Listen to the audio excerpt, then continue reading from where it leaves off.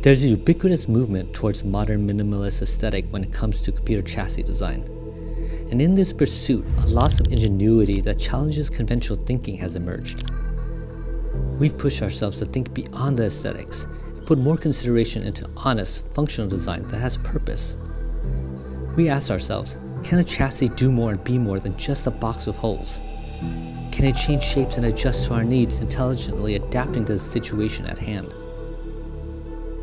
With this curiosity in mind, the team here at CyberPower PC began thinking about what a computer needs to perform at its best. We tailored our approach to airflow.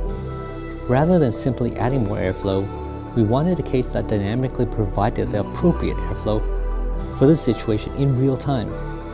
And that's what we've achieved here at CyberPower PC with the Kinetic series.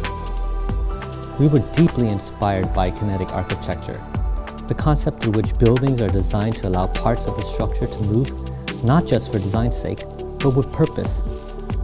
Designs like the Al-Bahar Towers, sunshades, or modern satellites that expand and collapse made us wonder, could this be achieved with computer keys? The Kinetic series is by no means a revolution.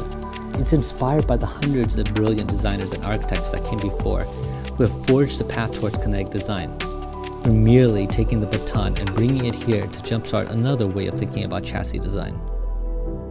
This first generation of our Kinetic series is a chassis that features 18 individually controlled vents that open and close according to the system's current internal ambient temperature. When the temperature is high, it contracts to allow in more air. And when the temperatures are low, it expands to reduce not just the airflow, but noise and dust as well.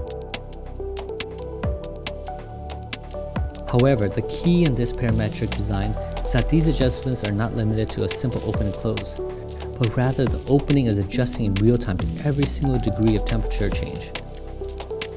It senses the environment and is constantly contracting and expanding to adapt to the situation with micro adjustments.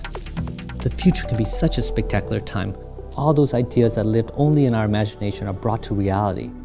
Our Kinetic series is not about maximum airflow, but intelligent airflow.